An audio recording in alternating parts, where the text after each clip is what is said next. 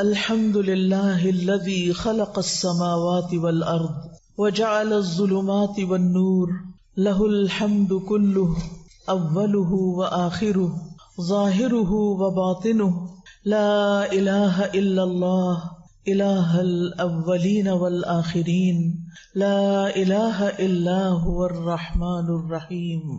सब तारीफ़ अल्लाह के लिए है, जिसने आसमानों और ज़मीन को पैदा किया और अंधेरों और रोशनी को बनाया, उसी के लिए सब तारीफ़ है, पहली और आखिरी, अव्वल आखिर, जाहिरी और बातनी, अल्लाह के सिवा कोई माबूद बरहक नहीं, वो पहलों और पिछलों का माबूद है, अल्लाह के सिवा कोई माबूद बरहक नहीं, वो नहायत मेहरबान और बहुत ज़्यादा रहम फरमाने वाला है। अल्लाह सुबहान तआला की रहमत के मजाहिर में से हम सब रोज मुशाहिदा करते हैं कि अल्लाह ताला ने हमारे लिए बेशुमार नेमतें पैदा की हैं, बहुत सी नेमतें।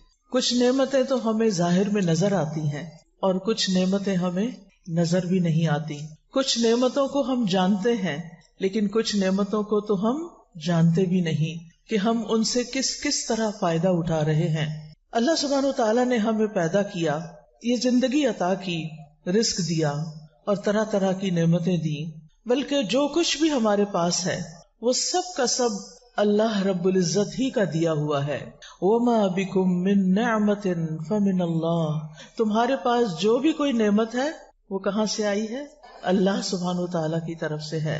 उसके एहसानात हम सब पर इतने ज़्यादा हैं, जिन्हें शुमार नहीं किया जा सकता। हम सारी ज़िंदगी उन एहसानात को गिनते हुए गुजार दें तो एहसानात की लिस्ट पूरी न हो सके। अल्लाह सुबहान तआला ने हमें वो भी दिया जो हमने मांगा और वो भी दिया जो हमने मांगा ही नहीं और हमें उसका पता भी नहीं। व आता कुम मिन कुल्ली मा सअलतुमुह व इन तउद्दू नेमतल्लाहि ला तुहसूहा इन्नल इंसान लज़लूमुन कफ्फार। और उसने तुम्हें हर उस चीज़ में से दिया जो तुमने उससे मांगी। और अगर तुम अल्लाह की नेमतों को गिनना चाहो, शुमार करना चाहो तो शुमार न कर पाओगे। बिलाशुबा इंसान यकीनन बड़ा ही जालिम, बहुत नाशुक्रा है। यानी हम उसकी नेमतों का शुक्र अदा ही नहीं कर सकते। अगर सारी ज़िंदगी भी सजदे में पड़े रहे तो हम शुक्र अदा नहीं कर सकते।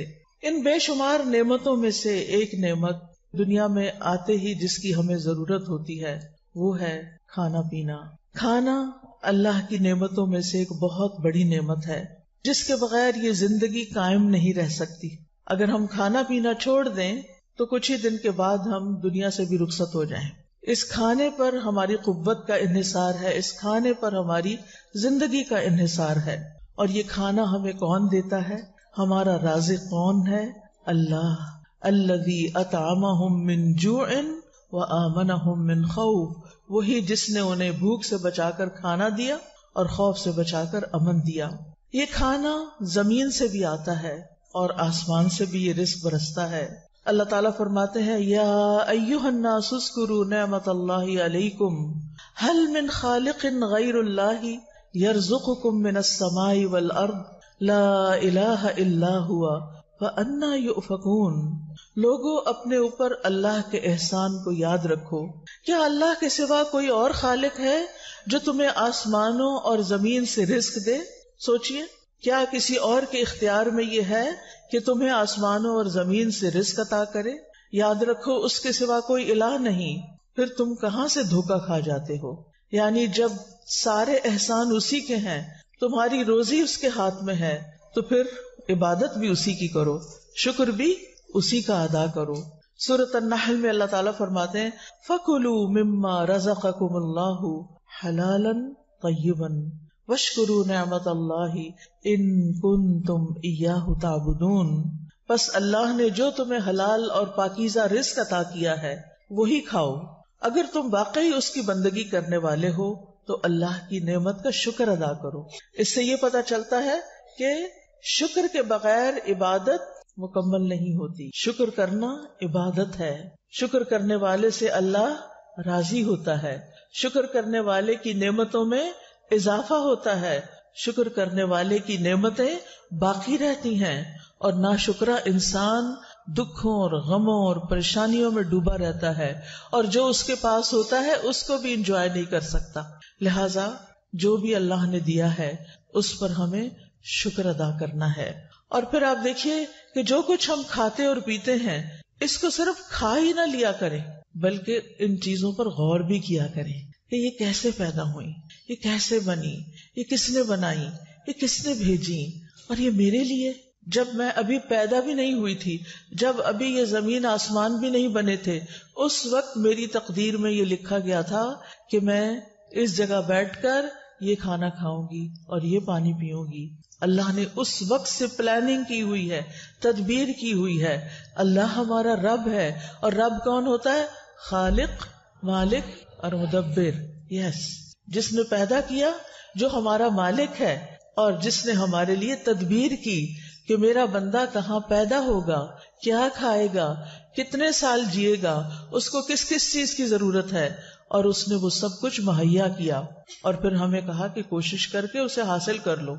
अल्लाह ने वो तुम्हारे लिए पैदा किया हुआ है। तुम्हें पैदा किया तो तुम्हारा रिस्क भी पैदा किया हुआ है। अब तुम पर है कि तुम कितनी कोशिश करते हो। अल्लाह ताला खाने पीने की चीजों पर गौर करने के लिए हुक्म देते हैं सूरत अबसा में फल यमजुरिल इंसानु इला तामिही अन्ना सबबनल माअ सब्बा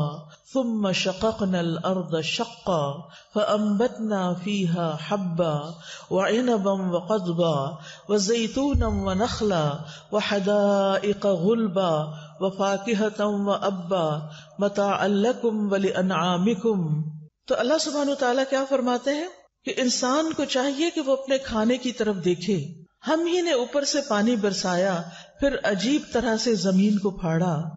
तो उसमें से हमने अनाज उगाया और अंगूर और तरकारियाँ और जैतून और खजूर और घने बागात और फल और चारा, ये सब कुछ तुम्हारे और तुम्हारे मवेशियों के लिए ज़िंदगी का सामान है। ये सब कुछ अल्लाह ने क्यों बनाया है? ताकि तुम्हारी ज़िंदगी बाकी रहे और तुम्हारे जानवरों की भी ज़िंदगी।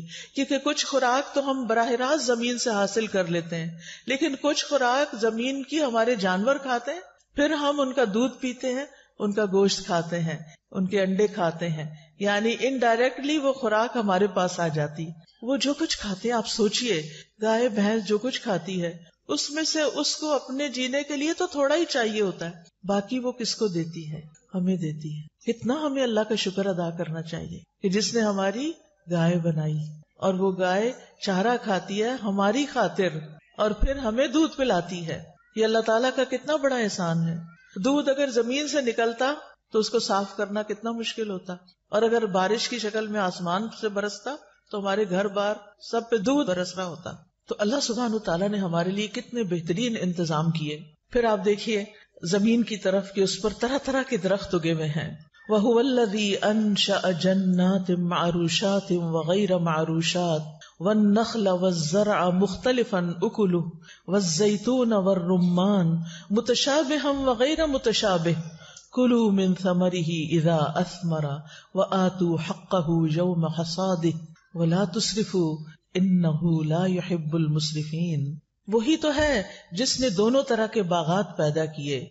एक वो जिनकी बेलें छपरों पे चढ़ाई जाती हैं, वो भी किसके लिए हैं? किसके लिए हैं? हमारे लिए। दूसरे वो दरख्त जो खुद अपने तने पे खड़े होते हैं। यानी कुछ तो अपने तने पे खड़े नहीं हो सकते, सहारा लेके ऊपर जाते हैं और फिर हमारे लिए फल पैदा करते हैं। नीस खजूरें और खेतियाँ पैदा की, जिनसे कई तरह के माकूलात हासिल होते हैं। नीज उसने जैतून और अनार पैदा किए, जिनके फल और मज़े मिलते जुलते भी होते हैं और मुख्तलिफ़ भी होते हैं। कोई खट्टा, कोई मीठा, कोई दरमियाना। जब ये दरख्त फल लाए तो इनसे खुद भी खाओ और फ़सल काटते वक्त इनमें से अल्लाह का हक भी अदा करो।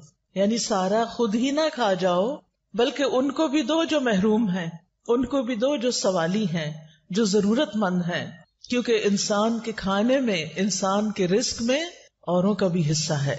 और बेजा खर्च न करो, क्योंकि अल्लाह इसराफ करने वालों को पसंद नहीं करता। फिर इसी तरह सूरत नहल में और खेतियों और सब्जियों वगैरह का भी ज़िक्र किया गया। वमिन समरात नखील वल आनाबी, तत्तखिदून मिनहु सकरम व हसना। इन फ़ी ज़ालिका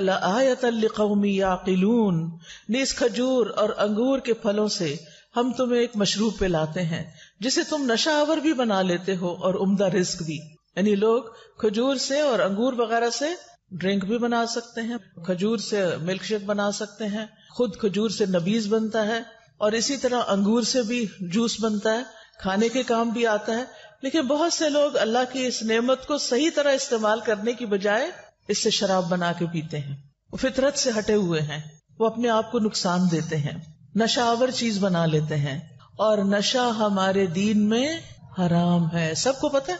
किस किस को पता है कि नशा हराम है? हाँ अल्हम्दुलिल्लाह, पीछे तक सबको पता है। लेकिन अफसोस ये कि आज हमारे यंगस्टर्स बेदरेग नशा इस्तेमाल कर रहे हैं। कॉलेजेस के अंदर, यूनिवर्सिटीज के अंदर हत्या के हाई स्कूल्स के अंदर बच्चे नशा करना शुरू हो गए। नशा हराम है। अल्लाह ने हमें अकल दी है। और अकल ही इंसान की खूबसूरती का बायस है। यानी जो बेअकल इंसान होता है, उसकी तरफ़ कोई तवज्जो नहीं करता, उसकी कोई बात नहीं सुनता। तो अकल जो है, इसको इस्तेमाल करके ही हमें जीने का ढंग आता है। इसे इस्तेमाल करके ही हम दीन का इल्म हासिल करते हैं। इसी अकल के ज़रिए हम अल्लाह ताला को भी पहचानते हैं। और अगर ये अकल ही मारी जाए तो फिर हम किस काम के रहे? हमने अपने आप को खुद ही नुकसान पहुँचाया। तो इसलिए बहुत ज़रूरी है कि कोई चीज़ इस अकल को खराब करने वाली ना हो। फिर इसी तरह अल्लाह ताला ने खालिस दूध हमें पिलाया। व इन लकुम फिल अनआमिब्रा नुस्की कुम मिम्मा फ़ी बुतूनिही मिम्बैन फरसिम वदम लबनन खालिसन लबनन खालिसन लिशारिबीन। और बिलाशुबा, तुम्हारे लिए चौपायों में बड़ी इबरत है। हम उन चीज़ों में से जो उनके पेटों में है, गोबर और खून के दरमियान से तुम्हें खालिस दूध पिलाते हैं। देखो कहाँ से आता है ये दूध? जो पीने वालों के लिए हलक से आसानी से उतर जाने वाला है। यानी दूध पीने में किसी को मुश्किल पेश नहीं आती। छोटे छोटे बच्चे भी दूध आराम से पी जाते हैं। उनके हलक से आसानी से उतर जाता है। यहाँ पर अल्लाह ताला लबन के साथ एक लफ्ज इस्तेमाल फरमा रहे हैं, लबनन खालिसन। लेकिन इंसान ने अपने ऊपर क्या जुल्म किया? पानी मिला दिया। और बाजुकत कुछ और चीज़ें भी मिला दी। कुछ और पाउडर भी मिला दिए उनको, गाढ़ा करके बेचने के लिए धोखा देकर। क्या ऐसी आमदनी हलाल होगी? नहीं। इसलिए आपके घर में, आपके भाइयों, आपके वालिद, अगर कोई भी दूध से मुतलिक काम करता है तो उसको ज़रूर ये बात बताइए कि मिलावट करना, धोखा देना, अल्लाह ताला के हुक्म की नाफरमानी है और इस तरीके से अगर हम पैसे कमाते हैं तो वो हराम है। और जब हराम माल इंसान के खाने में शामिल हो जाता है तो इंसान की नमाज़ कबूल नहीं होती, इंसान की इबादत कबूल नहीं होती, इंसान तरह तरह की मुसीबतों का शिकार हो जाता है। हराम खैर नहीं लाता, हराम खैर नहीं लाता। इसलिए अपने खाने पीने से हराम भी निकालना है। वो हराम भी जो बजाहिर हराम नज़र आता है, और वो हराम भी जो हराम माल के ज़रिए हराम हो जाता है। इसलिए आप देखिए कि दूध एक मुकम्मल गजा है, जिस पर हमारे बच्चों की नशो नुमा का इसार है। हमारी खातन के लिए और मर्दों के लिए कैल्शियम फराहम करता है और और भी बहुत सी गजाइयतें हैं इसमें। अगर दूध खालिश ही ना रहे तो आप देखिए कि हम अपने ही जैसे इंसानों पर, खुद अपने ही बच्चों पर कैसा जुल्म ढा रहे हैं। और हमारे इस जुल्म की वजह से जो बीमार होगा, जो परेशान होगा, जिसको भी नुकसान पहुंचेगा, क्यामत के दिन वो आके हमारा दामन पकड़ेगा। फिर हमें अपने अमल में से उसको देना पड़ेगा। तो बेहतर है कि हम दुनिया में ही अपने अमाल की इसलाह कर लें और हम खानों में मिलावट करना छोड़ दें। फिर इसी तरह अल्लाह ताला ने बेहतरीन गजाओं का ज़िक्र करते हुए शहद का ज़िक्र किया। अब आप देखिए किन किन चीज़ों का ज़िक्र हो चुका है। सब्ज़ियाँ फल दूध जूस और शहद हम्म, शहद। और शहद आप देखिए कि अल्लाह ताला ने कितना ज़बरदस्त कारखाना लगाया है शहद बनाने का। और कितनी छोटी सी मखलूक को हमारे लिए शहद बनाने पे लगा दिया। वो कितना रस पीती है और उसमें से खुद क्या लेती है? खुद उसकी ज़रूरत कितनी थोड़ी सी है? और बाकी वो सारी मेहनत आपके लिए करती है। हज़ारों मील का सफ़र उड़ उड़ के तय करती है। तरह तरह के फूलों पे बैठती है, रस चूसती है ला के अपने छत्ते में डालती है और फिर उसको मोम से पैक करके आप तक पहुंचाती है। पहले उसको पी लेती है, फिर उसको कन्वर्ट करती है शहद में और उसको भरती है उन ड्रॉप्स के अंदर और फिर उस छत्ते के ज़रिए वो शहद आप तक पहुँचता है। अफसोस ये कि हमने शहद में भी मिलावट करनी शुरू कर दी। गुड़ और चीनी घोल के रख देते हैं कि मक्खियाँ वही पी लें और इसी से शहद बना दें। तो वो एक तरह से हम दोबारा क्या आप खा रहे होते हैं? दोबारा वही शुगर खा रहे होते हैं और वही चीज़ें इस्तेमाल कर रहे होते हैं। ये भी दुरुस्त नहीं। अगर आप वाकई चाहते हैं कि लोगों को सही शहद पहुंचाएँ तो फिर उसके लिए ज़रूरी है कि मक्खियों को एक नेचुरल एनवायरनमेंट फराहम करें। ऐसे बागों में, ऐसी जगहों पर जहाँ पर फूल हो, फल हो, वहाँ पर छत्ते लगाएँ ताकि नेचुरल जो हनी है, वो दस्तियाब हो लोगों को और उसके सारे फ़ायदे जो बताए गए हैं। शहद में सिर्फ़ गजा नहीं, बल्कि शिफा भी है। क्या है? शिफा भी है। और ये हमें कौन बता रहा है कि उसमें शिफा है? अल्लाह सुबहान तला लिहाजा हमें इस बात पर पूरा यकीन होना चाहिए। तो जो शहद खालिश होगा, जो शहद अच्छा होगा, उसमें इनशाला ज़रूर शफा होगी।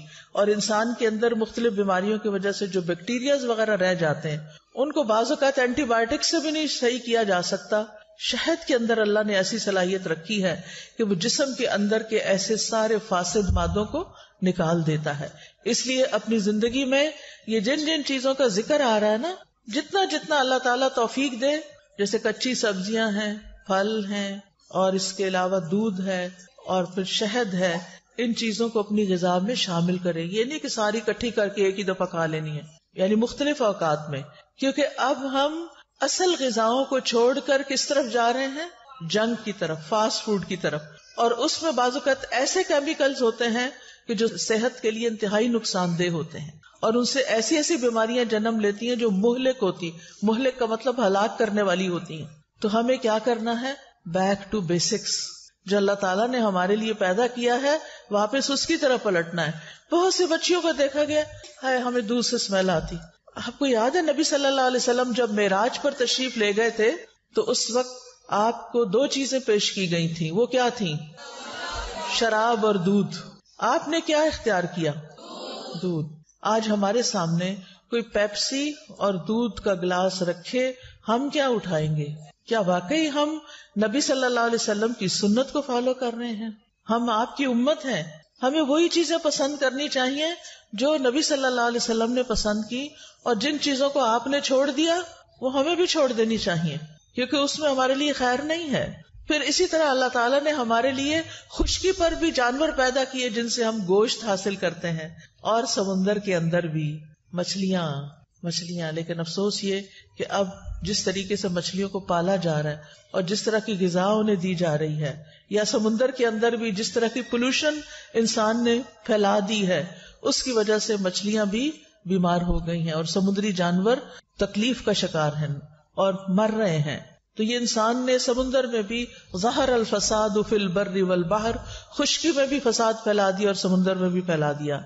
बहरहाल मछली खाने के अपने फवायद हैं। ये फवायद तो आप गूगल करके भी मालूम कर सकते हैं। लेकिन चूँकि आप खातन हैं, मेन्यू घर का आपने बनाना होता है, पकाना आपने होता है, सर्व आपने करना होता है, बच्चे आपने पालने हैं, उन्हें आपने खिलाना है। अल्लाह के वास्ते बच्चों को फीडर में चाय भर के ना दें, उनको सुबह सवेरे पेप्सी ना पिलाएँ, उनको बहलाने के लिए कैंडीज और चॉकलेट्स दे के ना खुश कर दें। पिछले कई दिनों से मैं चूँकि इल्म टूर पर हूँ, मुख्तलिफ़ जगहों पर जा रही हूँ, मुख्तलिफ़ लोगों से मिलने का इतफाक हो रहा है। अब एक खातून आई, उनके साथ छोटी सी बच्ची थी। अल्हम्दुलिल्लाह, खाने को बहुत कुछ था। जो कुछ भी उस बच्ची के सामने रखा गया, उसने नहीं खाया। बाकी बच्चे खाना वाना खा रहे थे, वो बच्ची ने खाना नहीं खाया। मैंने कहा, ये क्या खाती है? पता चला, ये सिर्फ़ बिस्किट और पेस्ट्री वगैरह खाती है। ये खाना नहीं खाती।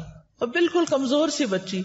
देख के मुझे इतना रहम आया कि जब ये बड़ी होगी तो ये किस तरह बच्चे पैदा करेगी? किस तरह उनको पालेगी? किस तरह संभालेगी? क्या बनेगा इसका? क्योंकि हमारे जिस्म को इन सारी चीज़ों की ज़रूरत है जो अल्लाह ने हमारे लिए पैदा की हैं। इनको हमारे लिए अल्लाह ने पैदा किया, लिहाजा इनको इस्तेमाल करने में इसका शुक्र अदा करना है। ये भी शुक्र अदा करने का एक ज़रिया है कि हम इन नेमतों को इस्तेमाल करें और सही तौर पर इस्तेमाल करें। बहुत सी बच्चियाँ फ़िश भी नहीं खाती। क्या है? स्मेल आती है। अगर ऐसा ही मसला है, स्मेल आती है तो आप मछली को पकाने का वो तरीका सीखें जिससे मछली की स्मेल चली जाए। हमारी वालदा उसमें कुछ चीज़ें लगा के रख दिया करती थी ओवरनाइट कभी उसके अंदर लस्सी और लस्सी में पता नहीं क्या डालती थी कि जिससे वो डूबी रहती थी और सारी उसकी स्मेल चली जाती थी। और फिर बहुत उम्दा तरीके से मछली बनती थी, जिसमें कोई स्मेल नहीं आती थी। आजकल तो कुछ मुश्किल नहीं है। जो चीज़ आपके घर से नहीं सिखाई गई वो आप यूट्यूब से सीख लें। मछली पकाने के हज़ार तरीके आपको वहाँ से मिल जाएँगे और बगैर स्मेल के मछली पकाने के भी मिल जाएँगे। लेकिन अगर आप ही नहीं खाएँगी तो फिर मुझे डर है कि आप घर वालों के लिए भी नहीं पकाएँगी। और जब घर वाले भी नहीं खाएँगे तो उनकी सेहत पर भी असर पड़ेगा। लिहाजा सारी बच्चियों को, सारी खातन को सही तौर पर खाने का इंतखाब मेन्यू बनाने का तरीका, उसको सही तौर पर पकाने का तरीका आना चाहिए बच्चों को सिर्फ़ चिप्स दे के स्कूल ना भेजें। उनके लंच बॉक्स में गाजर काट के डालें। उनके लंच बॉक्स में थोड़े से अंगूर डाल दें। एक दो खजूर डाल दें। उनको नेचुरल चीज़ों के लंच बॉक्स दें। हम क्या करते हैं? बाज़ार से ब्रेड मंगा लेते हैं, जो मैदे की बनी हुई होती है, और उसके अंदर क्या लगा देते हैं? जैम जो चीनी से भरा हुआ होता है, और फिर हम उनको पकड़ा देते हैं, ये है तुम्हारा लंच वो बच्चा जो दिन भर मेहनत कर रहा है, सर खपा रहा है बोल बोल के हलकान हो रहा है आपको पता नहीं स्कूलों में कितना कुछ कहलवाते हैं, चिखवाते हैं, और फिर वो बच्चे बोल बोल के थक जाते हैं। क्योंकि मैं ये तजुर्बे से कह रही हूँ इस्लामाबाद में, जिस एरिया में मैं रहती हूँ, साथ ही स्कूल है, उसमें जब ब्रेक के वक्त इतना शोर होता है, छुट्टी के वक्त इतना शोर होता है, जब उनकी वो मालूम नहीं क्या एक्टिविटी कोई चल रही होती है, उसमें बच्चे इतना शोर कर, हर बात का जवाब चीख चिल्ला के दे रहे होते हालाँकि ज़रूरी नहीं होता कि चीख के बोला जाए, लेकिन फिर भी शायद उनकी एनर्जी कंज्यूम करने के लिए कि ये थोड़े से फिर थक के घर जाएँ तो सो जाएँ। लेकिन फिर क्या होता है? एकदम हम उनको शुगर खिलाते मैदे में भी शुगर है, क्योंकि कार्बोहाइड्रेट्स में शुगर, उसमें फिर शुगर जैम में शुगर, वो शुगर खा के एकदम फिर हाइपर होते हैं। उनके अंदर फिर एक अजीब तरह की ताकत आती है, जिसकी वजह से फिर वो तरह तरह की शरारतें करते हैं, या फिर दूसरे बच्चों से लड़ते हैं, या तंग करते हैं। फिर हम कहते हैं, ये बड़े बदतमीज हैं। फिर उनको दो चार लगा के चुप करा के बिठा देते हैं। ये तो नहीं तरबियत होती ना। गलती किसकी है कि वो इस वक्त इतने हाइपर हुए हैं? फिर या उनको डिब्बों के जूस पकड़ा देते हैं। और बड़े खुश होते हैं, अल्लाह ने हमें बहुत दिया, हम अपने बच्चों को डिब्बों के जूस दे सकते अल्लाह ने आपको इस मुल्क में पैदा किया जहाँ सुबहान अल्लाह हर तरह का फल, हर तरह की नेमतें, हर तरह की सब्ज़ियाँ मौजूद हैं, ताजी चीज़ें मौजूद हैं, लेकिन आहिस्ता आहिस्ता हम उन चीज़ों को छोड़कर हर चीज़ रेडीमेड चाहते हैं ताकि हमें तकलीफ़ ना करनी पड़े। और कौन सुबह सुबह गाजर छीले और काटे और उनके डब्बे में डाले? उनको ही सिखा दे। वो खुद ही काट लिया करें। क्योंकि कुछ माए बड़ी अकलमंद होती।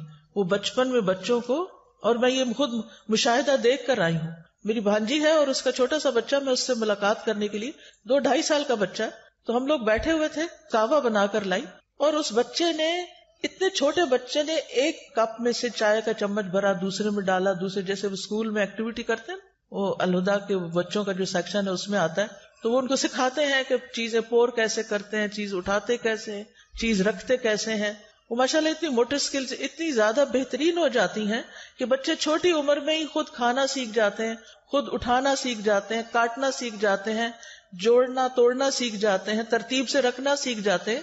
ये सारी चीज़ें बचपन में आप बच्चों को घर में भी सिखा सकती हैं। ज़रूरी नहीं कि उसके लिए आप उनको अलहुदा की मोन्टिसरी में ही भेजें। आपका हर घर खुद एक मोन्टिसरी होना चाहिए, एक तरबियत गाँव होना चाहिए, लेकिन उसके लिए तो फिर माँ को खुद पहले सीखना होगा ना। हम बच्चियों को इतना कुछ पढ़ा देते हैं, लेकिन उनको माँ बनना नहीं सिखाते, उनको घरदारी नहीं सिखाते। इससे अच्छी तो हमारी नानी दादी वगैरह थी कि जिन्होंने हमारी माओ को और फिर हमारी माओ ने हमें स्ट्रिक्ट तरीके से, सख्ती के साथ पाला और कुछ चीज़ों के ऊपर बहुत ही डिसिप्लिन किया कि ये तो करनी ही पड़ेगी। ये तो करनी, सिलाई भी आनी चाहिए, बटन लगाना आना चाहिए, काज बनाना आना चाहिए। अब ये चीज़ें भी नहीं है। अच्छा बटन टूट गया, उठा दो, दे दो ये किसी को कपड़ा। ये सिलाई उधड़ गई, अब हमारे घर में तो मशीन भी नहीं होती। होती है तो चलानी नहीं आती, धागा ही नहीं डालना आता। यानी अगर किसी बच्चे को कहना मशीन में धागा डालो तो उसको धागा नहीं अब डालना आएगा। क्योंकि ये चीज़ें, ये फन ये स्किल्स नापैद हो गई। अब क्या उसकी जगह आ गया? मोबाइल अब वो खूब चलाना आ गया। और मशीन कौन चलाए बैठ के? अब तो ये सिर्फ़ एक फन रह गया। तो अब उसका नतीजा क्या होता है? कि अब हमें हर सीज़न में नए कपड़े चाहिए। क्योंकि पहले क्या है? फट गए फटे नहीं, उधड़े हैं। उधड़ने और फटने का भी हमें फ़र्क नहीं पता चलता अब। अब वो निकाले जाते निकाले जाते फिर कहते हैं, क्या करें? तनख्वाह पूरी नहीं होती। कैसे पूरी हो? जब आपके खर्च करने का अंदाज ये है तो फिर यहाँ तो लाखों भी आए तो पूरे नहीं पड़ेंगे। तो अल्लाह सुबहान तला मुसरफीन को पसंद नहीं करता, फजूल खर्च लोगों को पसंद नहीं करता। तो हमारे पास मिलियंस भी हों, हम बिलियनियर भी हों, तब भी हमें अच्छे तरीके से, सलीके से खर्च करना चाहिए, चीज़ों को जाया नहीं करना चाहिए, क्योंकि अल्लाह ताला को ऐसे लोग पसंद नहीं है। अल्लाह ताला ने ये सारे रिसोर्सेज हमें इसलिए नहीं दिए कि हम इनको ऐसे तैसे इस्तेमाल करके जाया करके फेंक दें। इन नेमतों का शुक्र अदा करें। और शुक्र अदा करने के लिए सबसे पहले ये सोचे, ये अल्लाह ने मुझे दी हैं, मेरे रब ने पैदा की हैं, मेरे रब ने मेरे लिए ये भेजी हैं। जैसे हज़रत इब्राहिम क्या कहते थे? वल्लवी युतमुनी वयस्कीनी। वही है जो मुझे खिलाता और पिलाता है। कभी हमने भी कहा, वही है जो मुझे खिलाता और पिलाता है। किसी दिन खाने की मेज पे बैठ के ज़रूर कहें, वही है जो मुझे खिलाता और पिलाता है। हमारे अंदर ये यकीन होना चाहिए कि जो खाना हम खा रहे हैं, जो पानी हम पीते हैं, जो चीज़ हमें मिलती है, वो दरअसल अल्लाह सुबहान ताला ही की तरफ़ से होती है। वही अता करता है। लिहाजा हम उसी के शुक्र गुजार बने। रब का शुक्र अदा कर भाई, जिसने हमारी गाय बनाई। फिर आप देखें कि शुक्र कैसे अदा होता है। और शुक्र क्यों करना चाहिए? एक तो पहले मैंने बताया कि शुक्र करने से अल्लाह सुबहान तला नेमतें बढ़ा देते हैं, बाकी रखते हैं और ज़्यादा देते हैं। और इसके अलावा शुक्र अदा करने से अल्लाह बंदे से राज़ी हो जाता है। हदीस में आता है, अल्लाह ताला उस बंदे से राज़ी हो जाता है जो एक लुकमा भी खाए तो उस पर अल्लाह का शुक्र अदा करे, या जो मशरूब का एक घूंट भी पिए तो उस पर अल्लाह का शुक्र अदा करे। यानी अल्लाह सुबहान तला का शुक्र किस बात पर अदा करना है? कब अदा करना है? एक घूंट, पानी या दूध या शरबत, कुछ भी पी के। यानी आप देखें कि अगर एक घूंट पानी इंसान ने पिया तो कितनी देर लगती है अल्हम्दुलिल्लाह कहने में? कितनी देर लगी? सेकंड की बात है। अगर सेकंड में रब राज़ी हो सकता है तो फिर और क्या चाहिए? अल्लाह ताला उस बंदे से राज़ी हो जाता है जो एक लुकमा खाता है और अल्हम्दुलिल्लाह कहता है। दुआ करे अल्लाह ताला हमें तोफीक दे कि हर घोट के बाद और हर लुकमे के बाद हमारे दिल से अल्हम्दुलिल्लाह निकले। क्योंकि उससे नेमतों में इजाफा होगा, कभी कमी नहीं होगी। फिर इसी तरह आप देखें शुक्र गुजार को बुलंद मकाम मिलता है। अबू हुरैरा रज़ी अल्लाह अनहो रिवायत करते हैं, आप सल्लल्लाहु अलैहि ने फरमाया, खाने वाला शुक्र गुजार सबर करने वाले रोजादार के बराबर है। मसलन आप दो लोग हैं, एक ने रोजा रखा हुआ है अजर मिल रहा है उसको। आप खा रहे हैं। आप खा के कहते हैं, अल्हम्दुलिल्लाह, अल्लाह तेरा शुक्र। दोनों बराबर हो गए। रोज़े वाला और शुक्र गुजार एक जैसे सवाब पाने वाले हो गए। ये शुक्र को मामूली चीज़ नहीं, लेकिन ये करना मुश्किल है। बहुत कम लोग शुक्र अदा कर पाते हैं। अल्लाह ताला फरमाते हैं वह कलीलम मा तशकुरो कितना कम तुम शुक्र अदा करते हो और ये वाकई कम अदा करते हैं। अल्लाह हमें शुक्रगुजार बंदों में शामिल कर ले। और हर नमाज़ के बाद ये दुआ मांगा करें, रब्बी आइन्नी अला विक्री का व शुक्री का व हुस्न इबादत अल्लाह हमें शुक्रगुजार बंदा बना।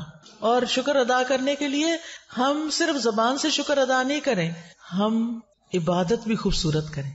क्योंकि इबादत भी दरअसल शुक्र अदा करने का एक तरीका है।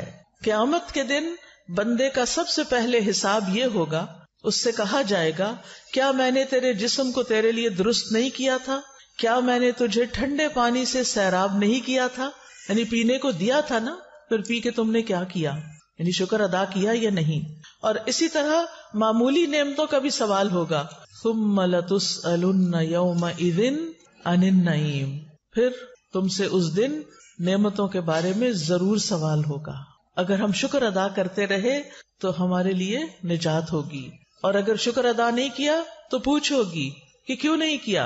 अब खाने पर शुक्र अदा करने के तरीके क्या हैं? नंबर वन खाने का इंतखाब सिलेक्शन हलाल और तैयब। पहला काम क्या करना है आपने? हलाल और तैयब। अल्लाह ताला फरमाते हैं, या अय्युहन्ना सुकुलू मिम्मा फिल अर्दी हलालम तय्यबा वला तत्तबिउ खुतुवात शैतान। इन्नहू लकुम अदुव मुबीन। ए लोगो, उन चीज़ों में से जो ज़मीन में है, हलाल और पाकिजा खाओ और शैतान के कदमों की पैरवी ना करो। शैतान क्या चाहता है? कि इंसान को खाने के रास्ते से बहकाए और उसको हलाल ना खाने दे और बाजुकत हम हलाल का एहतमाम कर लेते हैं, लेकिन तय्यब का एहतमाम नहीं करते। लिहाजा अल्लाह सुबहान तला का ये हुक्म है सारी इंसानियत को। फिर तमाम रसूलों को और अहले ईमान को तैयब खाने का हुक्म दिया गया। रसूलुल्लाह सल्लल्लाहु अलैहि वसल्लम ने फरमाया, बेशक अल्लाह पाक है और पाक ही कबूल करता है और बेशक अल्लाह ने मोमिनों को भी वही हुक्म दिया है जो उसने रसूलों को दिया। बस अल्लाह ताला ने फरमाया, या युहर रसुल कुलू मिन तय्यबात वामलू सालिहा। और अल्लाह ताला ने फरमाया, या युहल्लदीना आमनु कुलू मिन तय्यबात मा रज़कनाकुम तो दोनों को क्या हुक्म है? पाक चीज़ें खाओ, जो हमने पाक रिस्क दिया उसमें से खाओ। रसूल अल्लाह सल्लल्लाहु अलैहि वसल्लम ने फरमाया, बेशक मोमिन की मिसाल शहद की मक्खी की तरह है, जो पाकिजा चीज़ खाती है, पाकिजा रस खारिज करती है, और जिस फूल पत्ते पे बैठती है, ना वो टूटता है, ना खराब होता है। ऐसा होता है मोमिन। हम सब भी कहते हैं, हम भी मोमिन हैं। क्या हमारे अंदर ये क्वालिटी है कि पाकिजा साफ़ सुथरी चीज़ खाएँ? बासी और गली सड़ी और गंदी और खराब और वो जो हमारी सेहत को खराब कर दे उसको छोड़ने। और फिर जिस जगह भी हम बैठे, वहाँ कैसे बैठे कि जब उठे तो साफ़ सुथरी जगह छोड़ के जाएँ। ये नहीं कि टिश्यू पेपर छोड़ दें और अपनी को पेंसिल वहीं छोड़ जाएँ और जैकेट उतार के रखी थी वही वहाँ भूल जाएँ। और कोई घड़ी या सेल या, और फिर इंतजामिया को तंग करें वो हमारी चीज़ वहाँ रह गई थी, अब वो कहाँ है? भाई, वो क्या जाने? सिर्फ़ आप ही तो नहीं थे ना वहाँ, और भी तो लोग थे। तो इसलिए शहद की मक्खी से तशबी दी कि जिस चीज़ पे बैठती है, ना वो टूटती है, ना खराब होती है। फिर इसी तरह, रिस्क में जो तैयब का एहतमाम है, इसके बारे में हम सबको कॉन्शियस होना चाहिए कि गजाओं के बारे में हमारे पास सही इंफॉर्मेशन हो। क्या क्या चीज़ मेरे मिजाज के खिलाफ है? माशाल्लाह, गुजरावाला में तो बहुत से अच्छे अच्छे हकीम हैं। ये हकीम लोग बताते हैं कि आपका मिजाज क्या है? आपका मिजाज सदावी है या दमवी है या असबी है? यानी आपको उस मिजाज के मुताबिक क्या खाना चाहिए, क्या नहीं खाना चाहिए? आप सबको किस चीज़ का पता होना चाहिए? सबको क्या पता होना चाहिए? अपने मिजाज का पता होना चाहिए। नहीं पता तो हकीम साहब को जाके नबज दिखा के पूछ लें और उनसे ये पूछ लें कि क्या मुझे खाना चाहिए और क्या नहीं खाना चाहिए। और जिन चीज़ों से वो परहेज बताएँ, मना करें, उनसे मना हो जाना चाहिए। आपकी सेहत वैसे ही ठीक हो जाएगी। इलाज बिल गजा। अल्लाह ने गजाओं के अंदर ही शिफा रख दी है। हम बीमार इसलिए रहते हैं कि हम सही गजा नहीं खाते। हमें ये नहीं पता होता क्या हमारे लिए सूटेबल है और क्या नहीं है। और दूसरा क्या? हराम खाने से बचना है। रसूलुल्लाह सल्लल्लाहु अलैहि वसल्लम ने फरमाया, हराम माल से पला हुआ जिसम जन्नत में नहीं जाएगा। अपने भाइयों, शोहरों, वालिदैन, उनको बताइए, हमें हराम ना खिलाएँ। हराम से पला हुआ जिसम जन्नत में नहीं जाएगा। एक और जगह पर आता है, आपने फरमाया ए काब बिन उजरा, वो गोश्त और खून जन्नत में दाखिल नहीं होगा। जो हराम पर पला बढ़ा, वो जहन्नम का ज़्यादा मुस्तहिक है। तो शुक्र अदा करने के लिए क्या करना है? हराम छोड़ देना है, हराम नहीं खाना। फिर खाने से पहले क्या पढ़ना चाहिए? बिस्मिल्लाह, रसूलुल्लाह सल्लल्लाहु अलैहि वसल्लम ने फरमाया, जब तुम में से कोई भी खाना खाने लगे तो बिस्मिल्लाह पढ़ ले। अगर शुरू में याद ना रहे तो? दरमियान में जहाँ याद आए, बिस्मिल्लाह फ़ी अव्वली ही व आखिरी ही खाना बैठ के खाना चाहिए या खड़े खड़े खाना चाहिए? सबको पता है, किस किस को पता है खाना बैठ के खाना चाहिए? माशाल्लाह। खाना और पानी भी बैठ के। अनस रज़ी अल्लाह बयान करते हैं, नबी सल्लल्लाहु अलैहि वसल्लम ने इस बात से मना फरमाया कि कोई शख्स खड़े होकर पिए, चाहे दूध हो, चाहे पानी हो, चाहे कुछ और हो। कतादा कहते हैं, हमने अनस से कहा, खाने के बारे में क्या हुक्म है? उन्होंने कहा, ये ज़्यादा शर वाला और गंदा अमल है। और ये इंसान की सेहत के लिए भी नुकसानदेह कुछ लोग शादियों पे जाते हैं, वहाँ बूफे लगे होते हैं, वो क्या करते हैं? कोई चीज़ यहाँ से उठाई, मुँह में डाली, आगे गए, वहाँ से खड़े खड़े खाया, प्लेट में लिए, खड़े होके खाने लग गए। अगर कुर्सी नहीं तो थोड़ा सा ज़मीन पे बैठ जाए, खड़े होके तो ना खाएँ। तो चलते फिरते खड़े होकर न खाएँ। खातन खासतौर पर किचन में अगर खड़े होकर काम कर रहे हैं तो खड़े खड़े चीज़ें मत खाएँ। फिर ये बताइए कि दाएँ हाथ से खाना चाहिए या बाएँ हाथ से खाना चाहिए? दाएँ हाथ से। ठीक है ना? दाएँ हाथ से। क्योंकि नबी सल्लल्लाहु ने बाएँ हाथ से खाना मना फरमाया एक शख्स आपकी मौजूदगी में बाएँ हाथ से खा रहा था। आपने उसको मना किया। तो उसने कहा कि मैं दाएँ हाथ से नहीं खा सकता। आपने फरमाया, तुम कभी ना खा सको। लिहाजा मरते दम तक वो शख्स अपना दाया हाथ मुँह तक नहीं ले जा सका फिर। आप इतना नाराज़ हुए उस पर। तो इसलिए दाएँ हाथ से खाना है। कुछ लोग होते हैं ना, लेफ्टी होते हैं, हर चीज़ बाएँ हाथ से करते हैं। लेकिन फिर भी खाना तो दाएँ हाथ से ही खाना है। वैसे तो नबी सल्लल्लाहु अलैहि वसल्लम हर वो चीज़ जो लेते देते थे, उसमें दाया हाथ इस्तेमाल करते थे। और कुछ बच्चों को तो बड़े होकर भी ये नहीं पता होता कि दाया कौन सा, बाया कौन सा है। वो इसी में कंफ्यूज रहते हैं, क्योंकि बचपन में किसी ने तरबियत ही नहीं की कि बेटा ये दाया हाथ है, इससे ये काम करना है। कुछ काम हमारी ज़िंदगी में दाएँ हाथ के हैं, और कुछ काम हमारी ज़िंदगी में बाएँ हाथ के हैं। स्तंजा बाएँ हाथ से, नाक साफ़ बाएँ हाथ से, गंदी चीज़ों को हाथ, बाएँ हाथ से, और अच्छे अच्छे काम सारे दाएँ हाथ से। फिर इसी तरह आप सल्लल्लाहु अलैहि वसल्लम ने यह भी फरमाया, तुम में से कोई भी बाएँ हाथ से खाना ना खाए, ना ही बाएँ हाथ से कुछ पिए, क्योंकि शैतान अपने बाएँ हाथ से खाता और पीता है। तो अल्लाह ताला ने क्या फरमाया, वला तत्तबिउ खुतुआत शैतान। शैतान के कदमों की पैरवी नहीं करो। अच्छा हो सकता है आप सोचे, ये बातें तुम्हें पहले ही पता है, आप हमें फिर इसी पे दर्श क्यों दे रही हैं? अगर आपको पता है ना तो इनकी पाबंदी भी करनी है। नंबर एक, अमल करना। नंबर दो, आप या तो माए बन चुकी हैं या आइंदा की माए हैं। आपने बचपन से अपने बच्चों की तरबियत ये करनी है कि उन्होंने दाया हाथ ही इस्तेमाल करना है।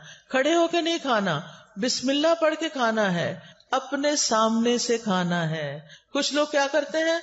प्लेट में कहीं कभी इधर हाथ मारा, कभी इधर कभी इधर। नबी सल्लल्लाहु अलैहि वसल्लम ने इसे मना किया है। और खास तौर पर दरमियान में बरकत उतरती है। दरमियान से उठा के नहीं खाना। कुछ लोग खाना डालते हैं ना, बीच में से डाल रहे होते हैं। कहाँ से डालना चाहिए? अपने सामने से डालना चाहिए। फिर टेक लगा के नहीं खाना। फिर पेट के बल नहीं खाना। आजकल क्या हो रहा है? लोग लैपटॉप खोल लेते हैं। उल्टे लेट जाते हैं, सामने लैपटॉप होता है, साथ कोई खाने पीने के स्नैक्स होते हैं, कोई चिप्स रखे होते हैं, कोई, कुछ और चीज़ें रखी होती हैं साथ साथ काम कर रहे थे और साथ साथ उल्टे लेट के खाते हैं। नबी सल्लल्लाहु अलैहि वसल्लम ने इससे भी मना किया है। अगर आपका बच्चा मोबाइल लेके उल्टा लेट के खा भी रहा है और देख भी रहा है, वैसे तो उल्टा लेटना वैसे ही मना है, लेकिन अगर किसी ज़रूरत के तहत कोई लेटा भी है तो उस वक्त खाए नहीं खाए नहीं। फिर इसी तरह खाने को जाया नहीं करना। कुछ लोग देखते हैं कोई चीज़, कहते अच्छा फेंको इसको, परे। खजूर लेंगे, उसके अंदर वो छोटी छोटी लग जाती है ना सुसरी सी तो कहते नहीं, ये नहीं खानी, फेंक दो फेंक दो फेंक दो, ये इसराफ है। नबी सल्लल्लाहु अलैहि वसल्लम की सुन्नत क्या है? आपके सामने पुरानी खजूर पेश की गई। आपने खोल के अच्छी तरह जायजा लिया, सुसरियाँ निकाली, साफ़ किया और बाकी खा ली। अगर कोई लुकमा ज़मीन पे गिर जाता था तो आप क्या करते थे? उठा के फेंक दो? नहीं, बल्कि उसको साफ़ करके खा लेते थे। नबी सल्लल्लाहु अलैहि वसल्लम ने फरमाया, शैतान तुम में से हर एक आदमी के पास उसके हर काम के वक्त मौजूद रहता है। यहाँ तक कि खाने के वक्त भी।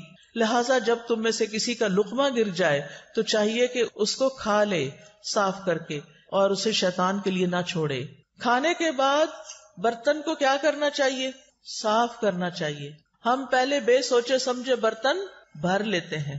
खास तौर पे शादियों में तवज्जो से सुनिए ये बात। बड़ी सख्त तकलीफ़ होती है जब लोग शादियों पे जाते हैं और प्लेटों के अंदर छोटे छोटे टीले बना लेते हैं खाना डाल डाल के।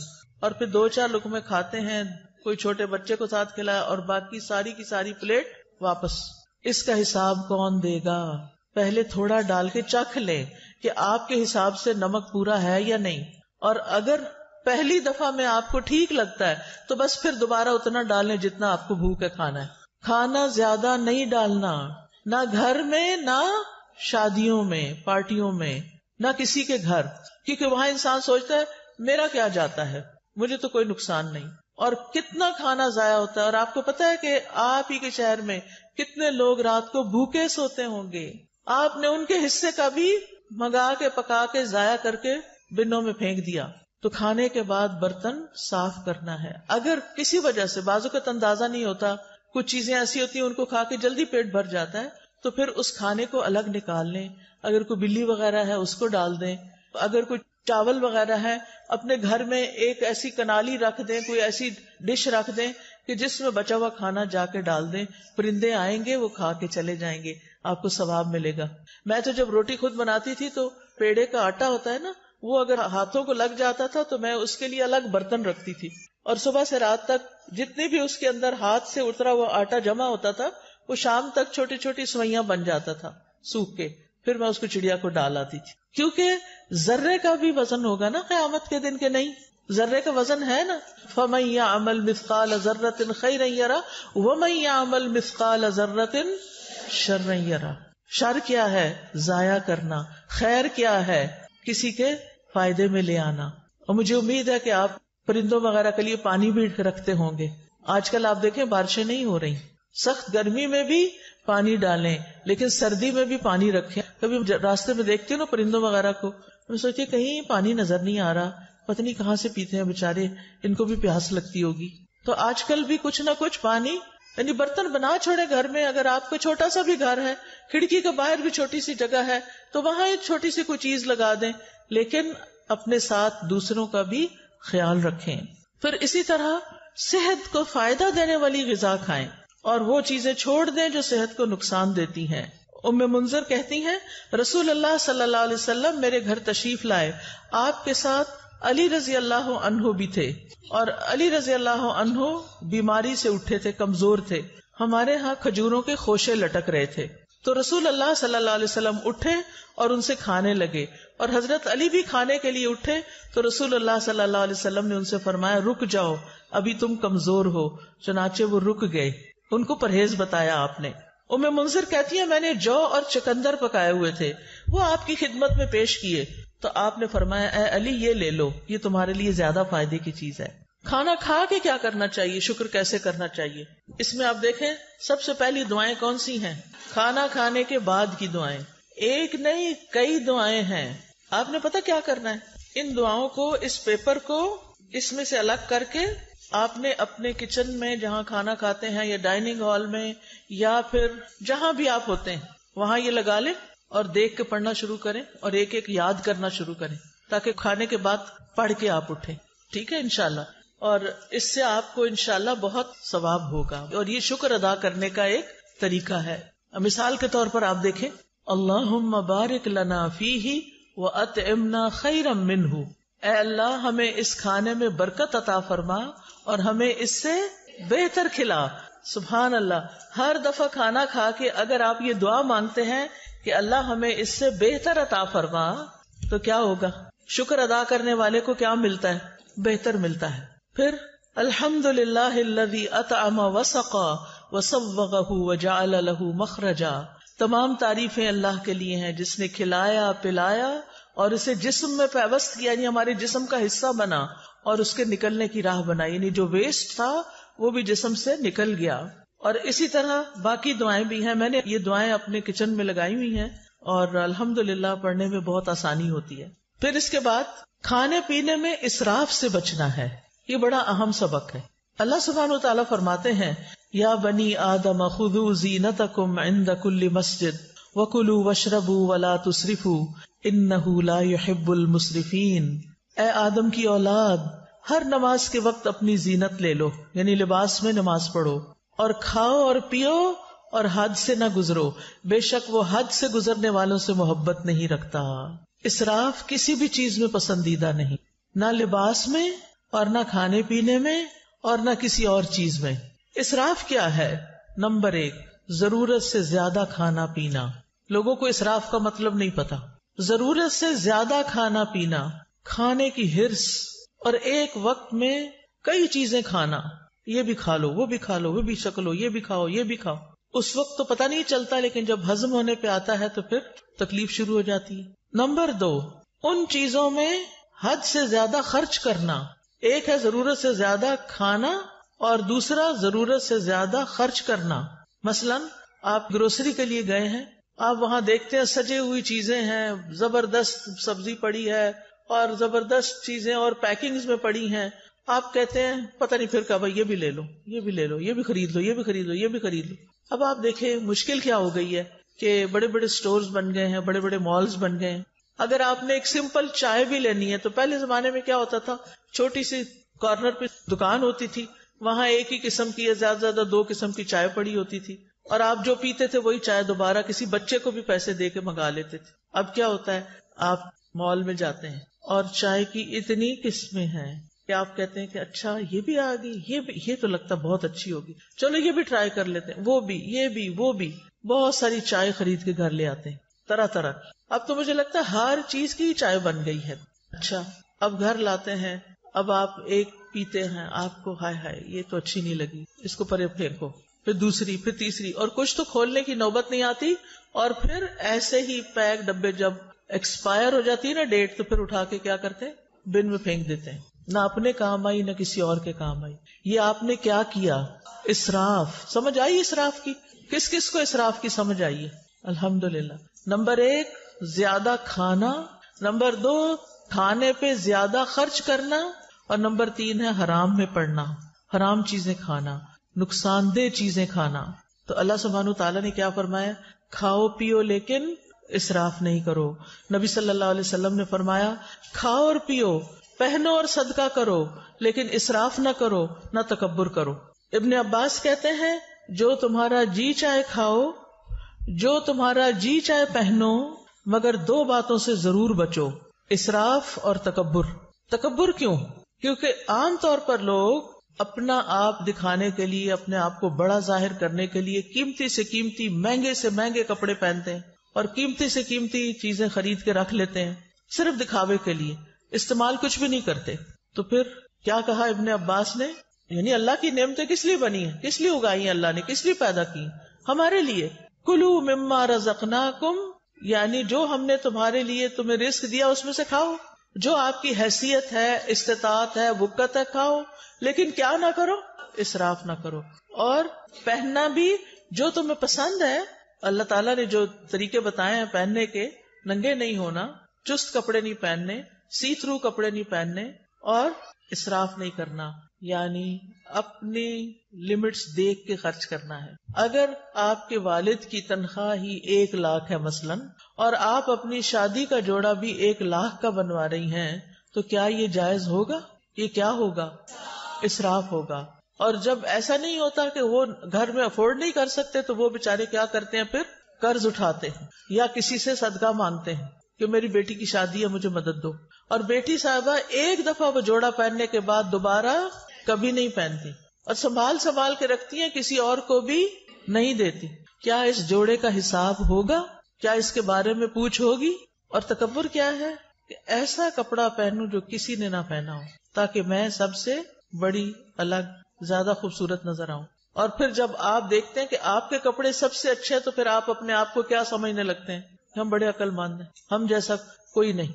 ये चीज़ भी अल्लाह ताला को पसंद नहीं।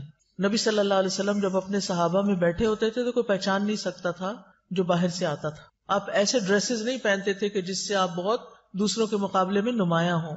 इस आयत के बारे में तबीब कहते हैं कि इसमें पूरी तिब शामिल हो गई। यानी खाना पीना है, लेकिन इसराफ नहीं करना तो आप बीमारी नहीं होंगे। फिर इसी तरह ये कि खाना पीना ज़िंदगी का मकसद ना हो। एतदाल के साथ बकदर ज़रूरत खाया जाए। नबी सल्लल्लाहु अलैहि वसल्लम ने बदतरीन उम्मतियों की कुछ खसूसियात बताई हैं। हम सब अपने बारे में गौर करें कि कहीं वो हम तो नहीं। बदतरीन उम्मती कौन है? रसूलुल्लाह सल्लल्लाहु अलैहि वसल्लम ने फरमाया, अन करीब मेरी उम्मत में ऐसे लोग होंगे जो तरह तरह के खाने और रंग बिरंगे मशरूब तलब करेंगे। तलब करेंगे। तलब का क्या मतलब होता है? ऑर्डर करना। तरह तरह के खाने और रंग बिरंगे मशरूब तलब करेंगे। मसलन, आप गए हैं किसी रेस्टोरेंट में आप उठाते हैं मेन्यू सारे उठा के बैठ जाते हैं। फिर हर कोई क्या कहता है, मुझे ये खाना है, मुझे ये खाना है, उसको ये खाना है, उसको ये खाना काफ़ी टाइम तो पहले सिलेक्शन में लगता है। फिर आप ऑर्डर करते हैं। फिर घंटा भर के बाद वो खाना आता है। और रंग रंग का अच्छा ये भी मंगा लेते ये भी मंगा लेते ये भी मंगा, ये भी हो जाए, ये भी हो जाए। और ड्रिंक में पेप्सी भी हो जाए फांटा भी हो जाए फलाम भी हो जाए फलाम भी जूस भी हो जाए ये है तलब करना। और फरमाया तरह तरह के कपड़े पहनेंगे, गुफ्तगु में बेहतियाती करेंगे। यानी बोलते वक्त नहीं सोचेंगे कि किसी बड़े से बात कर रहे हैं या छोटे से कर रहे हैं। सच बोल रहे हैं या झूठ बोल रहे हैं। और तरह तरह की सवारियों पे सवार होंगे, जिनके पास जरा ज़्यादा दौलत आ जाती है, फिर उनको क्या शौक लग जाता है? ज़रूरत हो या ना हो, ये गाड़ी का मॉडल भी हो, ये भी हो, ये भी हो, ये भी हो। फरमाया, वो मेरी उम्मत के बदतरीन लोग होंगे। आपके पास अल्लाह का दिया वो बहुत कुछ है, खाएँ, मना नहीं है। लेकिन इसराफ नहीं करना। एक वक्त में बहुत तरह के खाने नहीं खाने।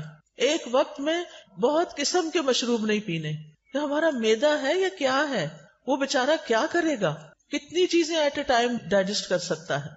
नबी सल्लल्लाहु अलैहि वसल्लम ने फरमाया, मुझे तुम्हारे मुतलिक गुमराह कुन ख्वाहिशात में सबसे ज़्यादा अंदेशा उन ख्वाहिशात का है, जिनका ताल्लुक पेट और शर्मगाह से है। यानी खाने के मामले में बेहतियाती और फिर दूसरी तरफ़ जिना आम हो जाएगा। और फरमाया, और गुमराह करने वाली ख्वाहिशात से। इब्न कय्यम कहते हैं, दिल को बिगाड़ने वाली पाँच चीज़ें हैं। लोगों से ज़्यादा घुल मिल के रहना, ख्वाहिश परस्ती, अल्लाह के अलावा किसी और से दिली ताल्लुक रखना, ज़्यादा खाना, ज़्यादा सोना, ये पाँच चीज़ें दिल को खराब करने वाली हैं। अब अक्सर लोग क्या कहते हैं, सब कुछ है, दिल में सुकून नहीं, खुशी नहीं। एक तो हमने रातों को दिन बना लिया और दिन को रात बना लिया। रातों को देर तक खाने ऑर्डर होते रहते हैं और फिर वो खाने के बाद हँसी मज़ाक, गपशप इधर उधर के कोई वीडियो देख रहा है, कोई फ़िल्में देख रहा है, कोई कुछ कर रहा है। और फिर जब आधी रात गुजर जाती है, फिर फिर सोते हैं और फिर सोने में फजर की नमाज़ चली जाती है। ऐसी जिंदगियों में क्या बरकत होगी? क्या रौनक होगी? ऐसे दिलों में क्या इतमान होगा? चाहे आपने सौ तरह के अच्छे अच्छे खाने खाए हों, आपका दिल खुश नहीं हो सकता। उसके लिए आपको वापस कुरान सुन्नत की तरफ़ लौटना होगा। अबू सलमान दारानी कहते हैं, जो ज़्यादा खाता है, उस पर छह आफतें आती हैं। नंबर वन वो मुनाजात की हलावत खो देता है। उसको अल्लाह से राजो न्याज की बातें करनी नहीं आती। उसकी दुआओं में कोई खुशबू नहीं रहता। नंबर दो, इल्म हिकमत याद करने से महरूम हो जाता है। हाफजा खराब हो जाता है। नंबर तीन, मखलूक पर शफकत से महरूम हो जाता है। क्योंकि जब वो पेट भर लेता है, वो समझता सबके पेट भरे हुए हैं। वो किसी और के बारे में नहीं सोचता। उस पर इबादत सकील हो जाती है, मुश्किल हो जाती है। उसकी ख्वाहिशात और शहवत बढ़ जाती है। सारे अहले ईमान मस्जिदों की तरफ़ चक्कर लगाते हैं और पेट भरने वाला कूड़ा करकट की तरफ़ गर्दिश करते हैं। यानी पहले जमाने में कूड़े के ढेरों के पास लोग जाके रफा हाजत करते थे। यानी आजकल की जबान में और ये बार बार वॉशरूम के चक्कर लगाते रहते ये बार बार टॉयलेट ही जाते रहते हैं। अजान तो एक वक्त पे होती है, नमाज़ तो अपने वक्त पर होती है। वो ये तो नहीं देखती कि अब कौन अभी तक आया और कौन नहीं आया। फिर आप देखें कि खाने की शुक्रगुजारी में ये भी है कि इंसान अल्लाह की मखलूक को भी खिलाए। कुरान मजीद में आता है वल्लदी नफी अम्बालिम हक मालूम लिस्सा वल महरूम। वो जिनके मालों में एक मुकर्र हिस्सा है, सवाल करने वाले के लिए और जिसे नहीं दिया गया। इस्लाम में भूखे को खाना खिलाने का हुक्म है। नबी सल्लल्लाहु अलैहि वसल्लम ने फरमाया, भूखे को खाना खिलाओ, बीमार की तीमारदारी करो, कैदी को रिहाई दिलाओ। लेकिन कितना जुल्म ढाते हैं हम, काम वाली रख लेते हैं और उससे कहते हैं, इतनी तनख्वाह देंगे, खाना वाना कुछ नहीं। आप अपने किचन में उससे सारा काम कराते हैं, खाने की खुशबुएँ उठ रही होती हैं, जैसी आपको भूख लगती है, उस गरीब को भी लगी होती है। और जब आप खाना पकवा लेते हैं तो उसको खुदा हाफिज कर देते हैं। हमने तुमसे खाना नहीं बांधा हुआ, बस सिर्फ़ तनख्वाह देंगे।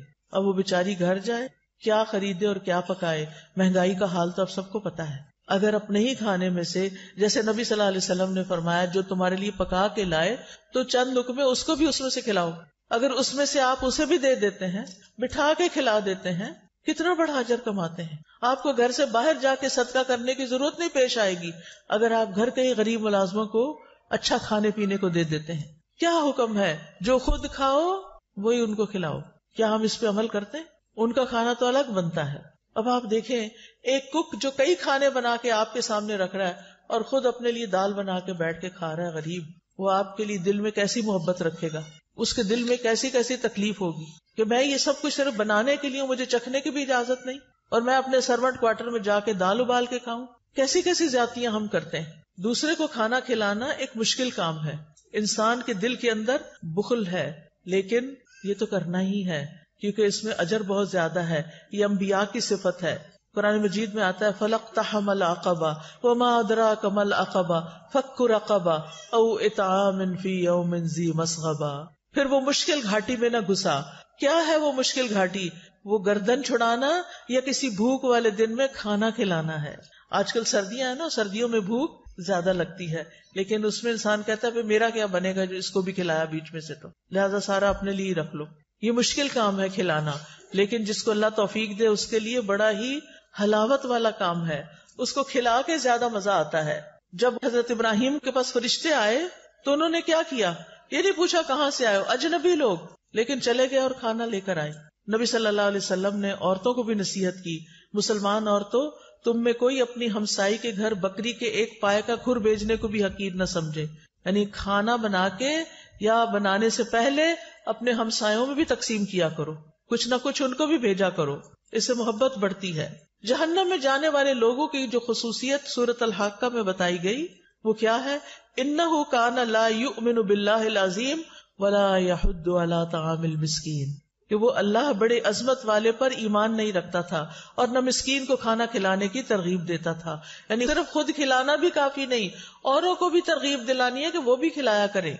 नबी सल्लल्लाहु अलैहि वसल्लम ने क्या हुक्म दिया था अपने साहबा को कि खाने में क्या करें? पानी ज़्यादा डाल लें, शोरबा बना लें और हमसायों को याद रखें। अबू दरदार रज़ी अल्लाह अपनी बीवी को मसाकिन की वजह से ज़्यादा शोरबा बनाने की तरगीब देते। और लेटली आप देखेंगे हम लोगों के खाने का स्टाइल क्या हो गया है। शोरबे वाले खाने तो गायब होते जा रहे हैं। अब हम सब की पसंद क्या है? फ्राइड या रोस्ट या भुना हुआ खाना, बस। जो मेदे पे हजम करना भी बड़ा मुश्किल है। ना हमने खुद अपने लिए फ़ायदे का काम किया और ना दूसरों को फ़ायदा पहुँचाया। वो कहते थे, हमने ईमान ला के आधी जंजीर उतार फेंकी है, यानी जहन्नम में जाने वाली। क्योंकि इसमें आता ना कि वो कहा जाएगा कि उसको जहन्नम में जकड़ो जंजीरों में। क्या हम बाकी भी ना उतार दें, यानी खाना खिला के? फिर इसी तरह आप देखें, बहुत से सलफ सालेहीन अपनी इफ्तारी के खाने में दूसरों को साथ खिलाते थे। अब्दुल्ला बिन उमर, दाऊद ताई, मालिक बिन दीनार और अहमद बिन हम्बल इन्हीं लोगों में से थे। इब्ने उमर यतीमों और मिस्कीनों के साथ बैठ के इफ्तार करते। अगर उन्हें यह इल्म हो जाता कि इन्होंने मसाकिन और यतीमों को नहीं खिलाया तो वो इफ्तारी के वक्त खाना नहीं फिर खाते थे। कि मिस्किनों को क्यों नहीं खिलाया? और बाज ऐसे भी थे, जैसे हसन बसरी और अब्दुल्ला बिन मुबारक, कि खुद भूखे भी रह लेते, लेकिन दूसरों को खिलाते। क्योंकि ये अल्लाह ताला को बड़ा ही महबूब और पसंद है कि इंसान दूसरों को खिलाए। नबी सल्लल्लाहु अलैहि वसल्लम ने फरमाया, वो लोग अल्लाह ताला को ज़्यादा प्यारे हैं, जो लोगों के लिए ज़्यादा फ़ायदेमंद हैं। अल्लाह के नज़दीक सबसे पसंदीदा अमाल ये है, किसी मुसलमान को खुश करना, उससे कोई तकलीफ़ दूर करना, उसका कर्जा अदा कर देना, उससे भूख को दूर कर देना। फिर खाना खिलाना जो है, ये सदका है, सिर्फ़ बाहर वालों को नहीं घर वालों को भी। नबी सल्लल्लाहु अलैहि वसल्लम ने फरमाया, तुम्हारा अपने आप को खिलाना भी सदका है, तुम्हारा अपने बेटे को खिलाना भी सदका है, तुम्हारा अपनी बीवी को खिलाना भी तुम्हारे लिए सदका है, तुम्हारा अपने खादिम को खिलाना भी तुम्हारे लिए सदका यानी इस पर अजर मिलेगा। खाना पका के खुद खा रहे, उस पर भी अजर है। घर वालों को खिला रहे, उस पर भी अजर है। ये बात खातन को अपने पल्ले बांधनी चाहिए कि मैं जो किचन में काम करती हूँ, वो मेरे लिए बहुत बड़ा अजर का काम है। क्योंकि आमतौर पे हम कहते हैं क्या मुसीबत है? मैं ही पकाती रहूँ। इसको मुसीबत न समझे। ये अजर की बात है। फिर इसी तरह किसी को पानी का एक घोट पिलाना भी सदका है। खजूर का आधा टुकड़ा दे के भी इंसान जहन्नुम से बच सकता है। फिर इसी तरह खास तौर पर यतीमों और मिस्कीनों को खिलाना। नबी वसल्लम ने फरमाया, जो शख्स मुसलमान माँ बाप के किसी यतीम बच्चे को अपने खाने और पीने में उस वक्त तक शामिल रखता है, जब तक वो उसकी मदद से मुस्तगनी नहीं हो जाता, यानी खुद कमाने नहीं लग जाता तो उसके लिए यकीनी तौर पर जन्नत वाजिब हो जाती है। यानी जो अपने खाने में यतीमों और मिस्किनों को शामिल कर लेता है, यानी यतीमों को खास तौर पर, कि जिनका कोई कमाने वाला नहीं, उसकी बेवा माँ को आज़ाद कर देता है कमाने की फ़िक्र से तो ऐसे शख्स के लिए जन्नत वाजिब फिर आप देखें कि आप एक लुकमा भी जो किसी को खिलाते हैं ना, वो ऐसे पड़ा नहीं रहता। हदीस में आता है कि अल्लाह सुबहान तला तुम में से हर एक की खजूर और लुकमे को इस तरह बढ़ाता है, जैसे तुम में से कोई आदमी अपने घोड़े के बछेरे को पालता है। यहाँ तक के एक लुकमा ओहद पहाड़ जितना हो जाएगा, यानी कि आमद के दिन इतना बड़ा उसका अजर आपके सामने आएगा। फिर इसी तरह रसूल अल्लाह सल्लल्लाहु अलैहि वसल्लम ने फरमाया, क्यामत के दिन हर शख्स अपने सदके के साय में होगा। यहाँ तक के लोगों के दरमियान फैसला हो जाए। यजीद कहते हैं, अबुल खैर कोई दिन ऐसा नहीं जाने देते थे, जिसमें कोई चीज़ खा मीठी रोटी या प्याज या इस तरह की कोई चीज़ सदका न करे। जब घर से निकलते थे, कुछ न कुछ खाना लेके निकलते और किसी न किसी को खिला देते थे। हानि बिन यजीद ने नबी सल्लल्लाहु अलैहि वसल्लम से पूछा, मुझे कोई ऐसी चीज़ बता दें जिससे मेरे लिए जन्नत लाजिम हो जाए? आपने फरमाया हुस्न कलाम और खाना खिलाने को लाजिम पकड़ो। खाना खिलाना शुरू करो, ये जन्नत लाजिम कर देगा। और जन्नत के बाला खाने, खूबसूरत मोहल्लात उस शख्स के लिए है जो बात अच्छी तरह करे, खाना खिलाए और जब लोग रात को सो रहे हो तो वो नमाज़ पढ़े। इसी तरह सिर्फ़ पानी पिलाने का भी बहुत बड़ा अजर है। न सिर्फ़ ये कि इंसानों को, बल्कि जानवरों को भी। आपको याद है कि वो एक औरत जो वैसे बहुत बुरी औरत थी, लेकिन उसने कुत्ते को पानी पिलाया था कुएँ से निकाल के तो उसकी वजह से उसकी बख्शिश कर दी गई थी। फिर इसी तरह आप देखिए कि कोई शख्स अगर किसी को हदिये में चांदी या सोना दे या मिशकीजा दे या किसी को दूध पिला दे तो ये ऐसा है जैसे गुलाम को आज़ाद कर दे। अब सोना चांदी देना तो बड़ा मुश्किल हो गया है, क्योंकि बड़ा ही महँगा हो गया है लेकिन दूध पिलाया जा सकता है गुलाम को, और दूध पिलाना ऐसा है जैसे एक गुलाम आज़ाद करना। आजकल गुलाम भी नहीं है, और खालिश दूध अगर किसी को आप पिलाते हैं तो और बड़ा अजर है। तो ऐसे मामला में दिल को खुला करना है। हम या तो कुछ किसी को खिलाते नहीं, या बहुत बड़ी दावत करते हैं और उसमें इसराफ करते हैं। एतदाल में रहिए। जो मैसर है, जो खुद खाते हैं, वही खिलाते रहिए। दोस्त को, अहबाब को, मेहमान को, रिश्तेदारों को, हमसायों को, नौकरों को तो इनशाला उससे अजर साबित हो जाएगा। अब आखिर में एक छोटा सा वाक्य सुनाऊँगी। एक हदीस है सही मुस्लिम में। मिकदाद रज़ी अल्लाह कहते हैं कि मैं और मेरे दो साथी उस वक्त जब सख्त भूख लगी थी हमें और भूख की वजह से ना हम सुन पा रहे थे ना हम देख पा रहे थे। यानी ऐसे लग रहा था, था कि हमने सुनने देखने की कुत ही चली गई। इतनी कमज़ोरी हो गई भूख की वजह से। हम खुद को रसूल अल्लाह सल्लल्लाहु अलैहि वसल्लम के सहाबा पे पेश करते रहे उनको बताएँ कि हमें भूख लगी है। लेकिन कोई हमें बतौर मेहमान कबूल करने पे तैयार ना हुआ। हो सकता है उनके अपने घर में कुछ ना हो।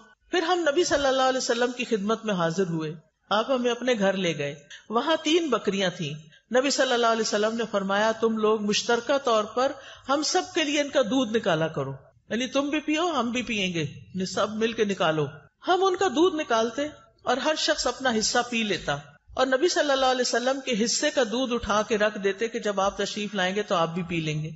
आप रात के वक्त तशरीफ़ लाते, सलाम करते किसी सोए हुए को ना जगाते और जागने वाले को सलाम सुना देते आहिस्ता से सलाम बोल देते। फिर आप मस्जिद में तशरीफ़ लाते, नमाज़ पढ़ते, फिर वापस आकर अपने हिस्से का दूध पीते। रात को आप दूध पीते थे। आप रात को तशरीफ़ लाते, किस तरह? कि जो सोए हुए हैं, उनको जगाते नहीं थे। हमारे यहाँ तो क्या होता है कि बीवी बेचारी थक हार के सोई भी हो, अब मर्द खुद भी आता है लेट, और फिर साथ दो चार मेहमान भी ले आता है। और कहता है कि उठो, अब इनको खिलाओ। तो ये ज़्यादा वाली बात है। ऐसे नहीं करना चाहिए।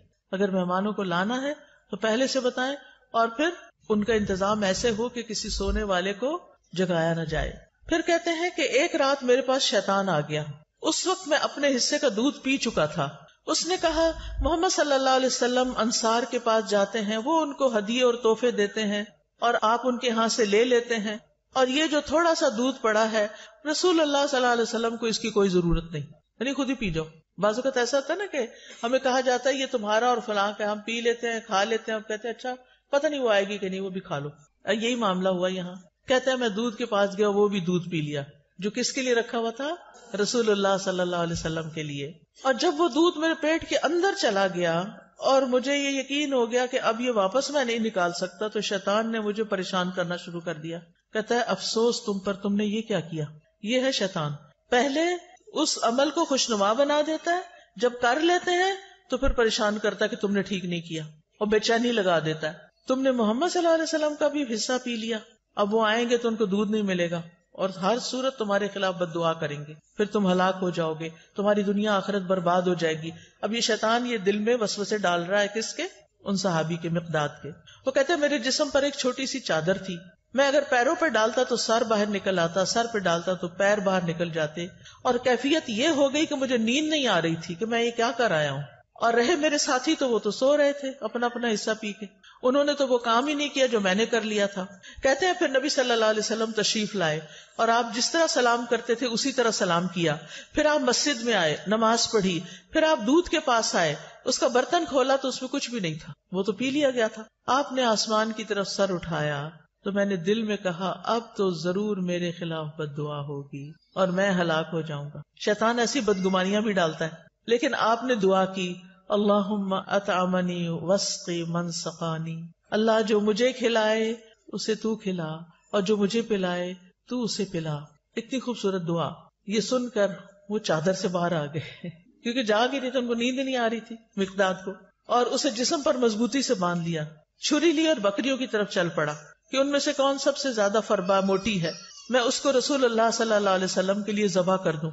मैंने देखा तो उसके थन दूध से भरे हुए थे, बल्कि सब बकरियों के थन दूध से भरे हुए थे। मैंने मोहम्मद वसल्लम के घर वालों के बर्तनों में से वो बर्तन लिया, जिसमें वो दूध धोते थे। फिर मैंने उसमें दूध दोहा हत्ता के बर्तन पे झाग आ गया। यानी बहुत ज़्यादा वो जब धारे लगाते हैं ना तो झाग आती है। फिर मैं उसे लेकर हजूर सल्लल्लाहु की खिदमत में आया। आपने फरमाया, तुम लोगों ने रात को अपना मशरूब पी लिया था? मैंने अर्ज़ किया, अल्लाह के रसूल, आप भी पी लीजिए। आपने दूध पी लिया। फिर मुझे दिया। मैंने कहा, अल्लाह के रसूल, आप और पीजिए। आपने फिर पी लिया और बर्तन दोबारा मुझे दिया। जब मैंने जान लिया कि रसूल अल्लाह वसल्लम सैर हो चुके हैं और मैंने आपकी दुआ को पा लिया है, यानी ये दुआ तो मुझे लगी अल्लाह अतिम वस्ती मन सकानी। तो मैं हंसने लग गया। हँसते हँसते ज़मीन पे गिर गया। आपने फरमाया, मकदार, ये एक बुरी खसलत है। तो भाई, ये कोई अच्छा अखलाक नहीं है कि हँसते हँसते नीचे गिरो। कई लोग ऐसे करते हैं तो ऐसा नहीं करना चाहिए। मैंने कहा, अल्लाह के रसूल, मेरे साथ तो ये मामला हुआ था आज, और मैंने इस तरह किया आपने फरमाया, ये दूध इस वक्त जो तुम्हें मिला, अल्लाह की रहमत के सिवा कुछ न था। तुमने मुझे उस वक्त क्यों ना बता दिया?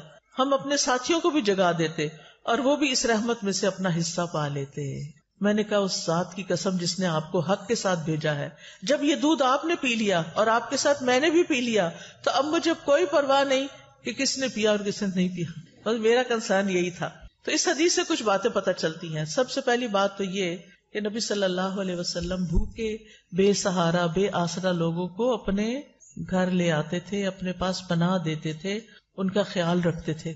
दूसरी बात यह कि यह हदीस नबूवत के दलाइल में से एक दलील है। तीसरी बात ये कि जब आप देर से भी रात को आते घर तो सलाम किया करते थे। जो जाग रहा होता, सुन लेता, और जो सोने वाला होता, वो डिस्टर्ब नहीं होता था। इससे पता चलता है कि आप सोने वाले की नींद का ख्याल रखते थे, और हमें भी रखना चाहिए। फिर इसी तरह, शैतान दूसरों के हिस्से को खुशनुमा बना के दिखाता है, और उसको इस्तेमाल करने की तरगीब देता है, और शैतान मोमिन को परेशान और मायूस करता है। फिर नबी सल्लल्लाहु अलैहि वसल्लम का उम्दा अखलाक भी पता चलता है। कि किस तरह आपने चशमपोशी की, सब्र से काम लिया, और किस तरह आपने दुआ की। अपना हिस्सा नहीं मिला तो दुआ कर ली। अगर कभी ये हो हमारे साथ के हमारा कोई बहन भाई, हमारा कोई हिस्सा खा पी जाए, हम क्या करेंगे? दुआ देंगे या लड़ाई डाल देंगे? आइंदा से क्या करेंगे? लड़ाई नहीं करेंगे, बल्कि दुआ देंगे। नबी सल्लल्लाहु अलैहि वसल्लम खाना खिलाने वाले को भी दुआ दिया करते थे। इब्न कय्यम लिखते हैं कि आपकी सिफात में से ये बात थी, आपके अखलाक में से भी कि जब किसी के पास कुछ खाते तो वहाँ से निकलते नहीं थे जब तक उनके लिए दुआ न कर दें। तो आप किसी के भी घर जाएँ, कुछ भी खाएँ तो क्या करें? उनको दुआ दें। फिर ये कि दूसरों को अपनी जात में तरजीह देना और उन्हें आगे रखना। नबी सल्लल्लाहु अलैहि वसल्लम के अपने भी हालात बहुत अच्छे नहीं थे, लेकिन आप उनको भी घर ले आए जिनके पास कुछ खाने पीने को नहीं होता था। जो असहाब सुफा थे, असहाब सुफा, वो हिजरत करके आए थे मुख्तलिफ़ इलाकों से, वो मदीना के रहने वाले नहीं थे, लिहाजा उनके पास वो सब कुछ नहीं था। फिर आप देखिए कि आखिरी चीज़, कि खाना खिलाने वाले को दुआ देनी चाहिए, और पहले खाना खाकर खुद दुआ अपने लिए पढ़नी चाहिए। ये दुआएँ मैं पढ़ देती हूँ सारी प्रोनाउंसिएशन आप सुन लें, ताकि आपको बाद में पढ़ना आसान हो। अल्लाह बारिक लना फ़ी व अतमना खैरम मिनहु। अल्लाह, हमें इस खाने में बरकत अता फरमा और हमें इससे बेहतर खिला। अल्हम्दुलिल्लाह अतआमा व सका व सवगहु व जालहु मखरजा। तमाम तारीफें अल्लाह के लिए हैं जिसने खिलाया, पिलाया और उसे जिस्म में पैवस्त किया और उसके निकलने की राह बनाई। अल्हम्दुलिल्लाह कसीरम तय्यबन मुबारकन फ़ी, गैर मकफीन वला मुवद्दइन वला मुस्तगनन अनहु रब्बना। सब तारीफ़ अल्लाह के लिए है। जो पाकिजा है, कसीर है, मुबारक है, इस खाने को हम काफ़ी नहीं समझते और ना इसको छोड़ते हैं। ऐ हमारे रब, न हम इससे बेपरवाह हो सकते हैं। यानी ये नहीं कि ये आखिरी दफ़ा है और यही काफ़ी है, ये काफ़ी नहीं है, आइंदा भी खाना है हमें। अल्लाहुम्मा अतअमत तब अस्क़ैत तब अगनैत तब अक़नैत व हदैत तब फलकल हम्दु अला मा अहतैत। अल्लाह, तूने ही खिलाया, तूने ही पिलाया, तू ही गनी करता है, तू ही फकीर करता है, तूने हिदायत दी, तूने ही ज़िंदगी अता फरमाई, बस जो तूने अता किया उस पर तेरी ही तारीफ़ है। फिर पिछले सारे गुनाहों को माफ़ करने वाली दुआ है। रसूलुल्लाह सल्लल्लाहु अलैहि वसल्लम ने फरमाया, जो खाना खा के यूँ कहे अल्हम्दुलिल्लाहिल्लज़ी अतामनी हाजा, व रज़क़नीहि मिन गैरि हौल मिन्नी वला कुव्वा। उस अल्लाह का शुक्र जिसने मुझे ये खाना खिलाया और मुझे रिस्क अता फरमाया, जिसमें मेरी कुव्वत और कोई ताकत शामिल नहीं। फिर इसी तरह एक और दुआ है, इब्ने अब्बास फरमाते हैं कि रसूलुल्लाह सल्लल्लाहु अलैहि वसल्लम ने फरमाया, जिसे अल्लाह ताला कोई भी खाना खिलाए, वो यूँ कहे अल्लाह बारिक लना फ़ी, वर्जुकना खैरम मिनहु। अल्लाह, हमें इसमें बरकत अता फरमा और हमें इससे बेहतर अता फरमा। जब दूध पीते तो क्या पढ़ते? अल्लाह बारिक लना फ़ी ही वजिदना मिनहु। अल्लाह हमारे इस दूध में हमें बरकत अता कर और हमें इससे ज़्यादा अता कर। अबू हुरैरा रज़ी अल्लाह खाना खाने के बाद किस तरह शुक्र अदा करते थे?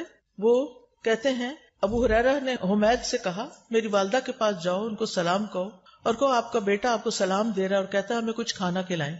इस पर उनकी वालदा ने जौ की तीन रोटियाँ और जैतून का तेल जो है और नमक रकाबी में रखा उसे अपने सर पे रख लिया और उनके पास लेकर ये चले गए। फिर जब मैंने उन लोगों के सामने खाना रखा तो अबू हुरारा ने कहा, ये तो बहुत बड़ी चीज़ है।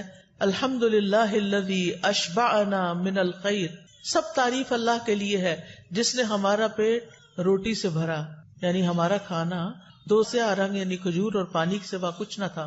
तो जब रोटी मिलती थी तो वो बहुत बड़ी नेमत समझते थे उसको। फिर शिद्दत भूख के वक्त की दुआ है। इससे पहले एक और दुआ है अल्हम्दुलिल्लाह हदाना व अतमना व सकाना व नमना अल्लाह अकबर अल्लाहुम्मा अल्फतना निअमतुक बिकुल्ल शर्रिन असबहना मिनहा व अमसैना बिकुल्ल खैरिन फनसअलुका तमामहा व शुक्रहा ला खैरा इल्ला खैरुक वला इलाहा गैरुक इलाह सालिहीन व रब्बल आलमीन अल्हम्दुलिल्लाह वला इलाहा इल्लल्लाहु माशा अल्लाह वला कुव्वत इल्ला बिल्लाह अल्लाहुम्मा बारिक लना फीमा रज़क़तना वक़िना अज़ाबन नार इसका तर्जुमा है सब तारीफ़ अल्लाह के लिए है जिसने हमें हिदायत दी हिदायत खाने पीने से भी ज़्यादा कीमती चीज़ है हमें खिलाया और हमें पिलाया हमें नेमतें अता फरमाई अल्लाह सबसे बड़ा है ए अल्लाह तेरी नेमत उस वक्त आई जब हम शर में फंसे हुए थे हमने इस नेमत की वजह से हर तरह की खैर के साथ सुबह की और शाम की बस हम तुझसे इस नेमत के मुकम्मल होने का और इसके शुक्र अदा करने का सवाल करते हैं। तेरी खैर के सिवा कोई खैर नहीं, तेरे सिवा कोई मबूद नहीं। ए इलाहीन सारे जहानों के रब, सब तारीफ़ अल्लाह के लिए है और अल्लाह के सिवा कोई मबूद नहीं। जो चाहता है वही होता है। किसी में ताकत नहीं सिवाय अल्लाह के। ए अल्लाह, जो रिस्क तू हमें दे, उसमें बरकत दे और हमें आग के अजाब से बचा ले।